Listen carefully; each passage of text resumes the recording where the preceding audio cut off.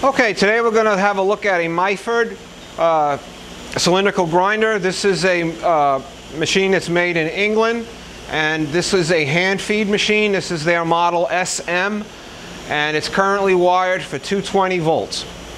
So uh, this is a little splash guard. I'm just going to take it away.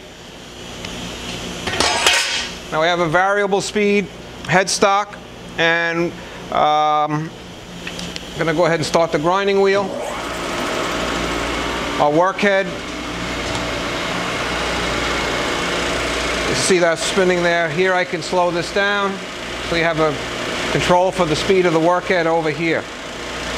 Uh, so basically you have your stop pin over here and you would just come into your part manually and then back out manually. All right, you can set your pin here and you can use your fine feed dial to feed uh, a couple of tenths right off your part. Go back and forth and spark out and then one, two, three times to take your part out. So this is your tailstock. Uh, your adjustable here for your tension on this. Now this is a Morse taper number two center that would go in here. This is a special Myford uh, ID of their spindle, which uh, you have different adapters that go in there. One that would hold a center, uh, one that would hold a collet. This actually has a full set of uh, Hardinge uh, 4H collets, um, 4C collets, excuse me, and a drawbar down here to, to, to, for that. Well, that's nice to have.